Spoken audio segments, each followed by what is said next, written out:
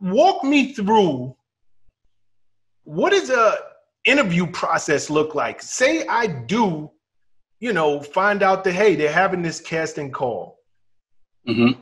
and I'm fortunate enough to get called in for it. What does a typical interview look like to get on TV?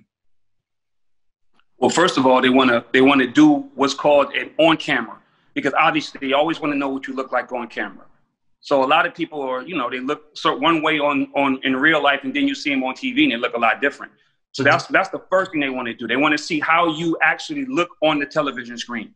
The second thing is what's going on in your life. Like a lot of people want to come on television and only want to give what they want to give. And that's never going to be good television that you can't you can't it's a give and a take. So if you want to come on here and you're an art if you're an artist or whatever you are and you want to promote what your what your i guess what your number one claim to fame would be you still have to give things in your personal life because it's a reality tv show and it really doesn't work unless you're willing to give up some personal tidbits because nobody wants to watch Love and Hip Hop or any of these shows if, in fact, you're only coming on here to sing a record, or if you're only coming on here to cook, or if you're only coming on here to take pictures and be a model. They want to know what that person is, who that person is, and what makes that person tick. And then that kind of pushes your claim to fame, your, your trait, your, your number one quality to the background because your personality and you as a person kind of takes over what your storyline would be. So that I mean that's kind of what it is, and that's that's what really really hinders a lot of people. They don't want to give that up. They really just don't want to give that up, Shawn. If you go back and we can talk about Olivia. Olivia was an amazing artist. She could sing, but she never wanted to give up the personal tidbits of her life. She never wanted people to see who she was dating. She never wanted the people to see her cry. She always wanted to make it seem as though everything was just so honky dory. And that's not what people want to see because it's not it's not relatable. So the number one trait to being a reality TV person is you have to be relatable to the audience. The audience has to look at you and say, "Oh my God, I I've been there. I've seen that. I've done that. I've been with that. I've been in that situation." And that makes them relate to you, which in turn makes them like you. Okay, so and, and, and I don't want to get too far ahead of ourselves because I, I, I got a lot to go over with you. In the interviewing process, okay, how long is the interviewing process? You said you do on cameras. How, how long mm-hmm. is that? Is, is, is, it a day's worth of on cameras? Do I have 15 minutes and I gotta, you know, shine within these 15 minutes? Typically, what does that look like just in terms of length of time? Probably a good hour, hour and a half. Really? Yeah. So yeah. within an hour and a half, I'm expected to expose all of these different areas of my life because I get what you're saying. You got to be willing to open up. Correct. But some people might go in, and I get it. With you know, you're on Love and Hip Hop, but there, there, there could be you know reality TV shows about real estate, um, you know, mm-hmm. Real Housewives. Within that hour, hour and a half, I'm supposed to be willing to divulge that much about myself. Yes. You're supposed to go into that interview and basically you leave nothing, no stone unturned. So I go into it and it's like, okay, Rich, Rich Dollaz, what's up? What's up? I'm Rich Dollaz from Bad Boy Records. This is what I'm doing. This is what I am. You can call Shawn Prez about me. You can call Sean Combs about me. You can ask all these different people and know that my story is actually an accurate story and I'm not you know, lying to you. And then I go into my personal life and this is what I'm doing and I'm dating such and such and this is my girlfriend and we have problems. So all those questions are day one questions. All those questions are day one questions. They want to know everything about you. Are so you, you come in as a I'm sorry, Rich, go ahead. I'm sorry.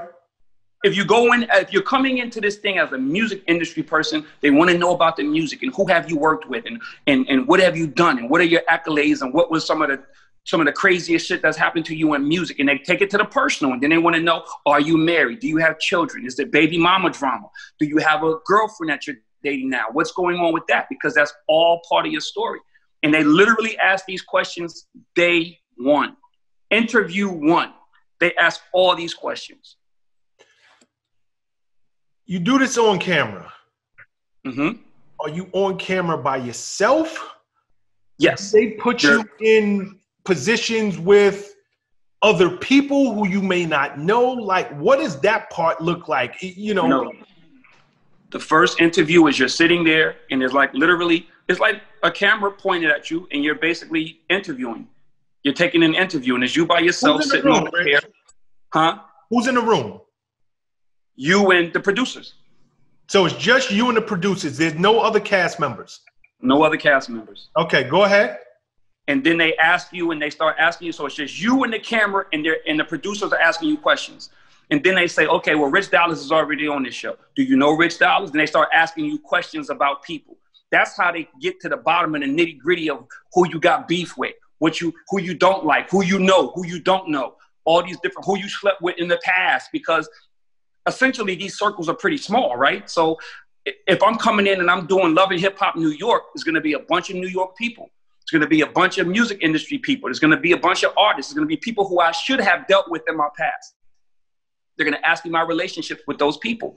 And then that's how you get into the meat and bones of it because they're asking you all these questions and they're just going back and forth and they're berating you with all these questions, but you're on tape. And that's the tricky part because when you leave that room, you don't even remember some of the shit you said. but they remember all of it because they're looking at that videotape and they're saying, oh, Rich got beef with such and such. He frowned up when I asked him about such and such. Oh, that's interesting. So now let me get such and such in and ask him about that. So that's how they start getting into the beat, meat and bones of who you really are and what you got going on. Typically, how many interviews is it before you know I got accepted to the show? I would say probably in today's in today's age, probably four or five. So they probably bring you back four or five times. So if your phone continues to ring, hey, would you like to come back in for another interview? You can start to think to yourself, I'm getting closer to the finish line. They're liking what they're hearing. They're like exactly. So the more times that you communicate with these people, and it could be, it could be, you know, an interview doesn't necessarily have to be them bringing you back in a hundred times. It could be them now they're starting to communicate with you and what's going on for your day to day. Oh, hey, Rich, what's up for the day? What you got going on? Oh, was, uh, I see you on, I see your Instagram, and I see you doing such. So now you start to take a, take notice of the fact that oh, these people are paying attention.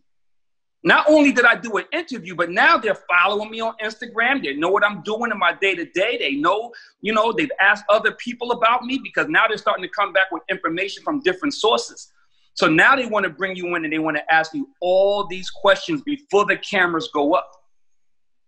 And that's how they essentially have determined who you are, if you're going to be good for this television show, who you have drama with, they know all that stuff before cameras go up. So now they can start to position you for good TV. What's up, guys? Thanks for sticking with me to the end of the video. Truly appreciate you.